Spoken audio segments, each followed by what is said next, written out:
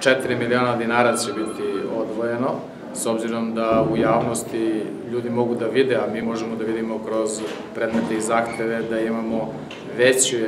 veće zahteve za lečenje dece i to pre svega za lečenje one dece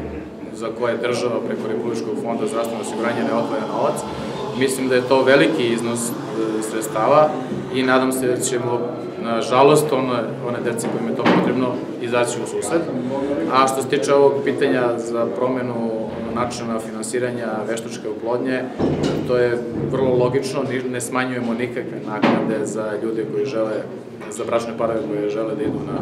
tretman veštačke oplodnje, nego smanjujemo iznos za one bračne parove za koje država već plaća